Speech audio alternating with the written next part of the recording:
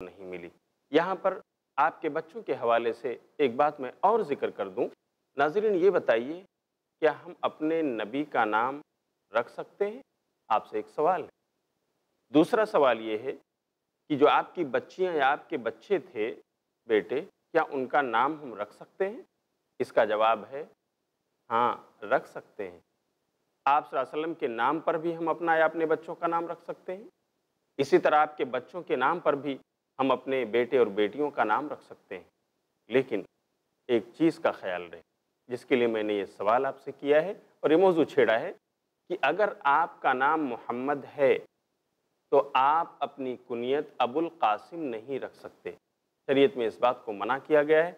नबी वसल्लम की हदीस में ये बात वारिद है कि कोई आदमी मेरा नाम और मेरी कुनियत इन दोनों चीज़ों को एक साथ अपने अंदर जमा ना फरमाए। यानी इसका मतलब ये हुआ कि अगर आपका नाम मोहम्मद है तो आप अपने बेटे का नाम कासिम रखकर अपने आप को अबुल कासिम ना कहलवाएँ, कि आप मोहम्मद भी बन जाएँ और आप अबुल कासिम भी बन जाएँ। इन दोनों को एक आदमी में जमा करने के लिए नबी ने मना फरमाया है। मोहम्मद और अबुल कासिम, ये दोनों नाम एक आदमी के अंदर जमा ना किए जाएँ, ये सिर्फ़ मेरी सिफत है।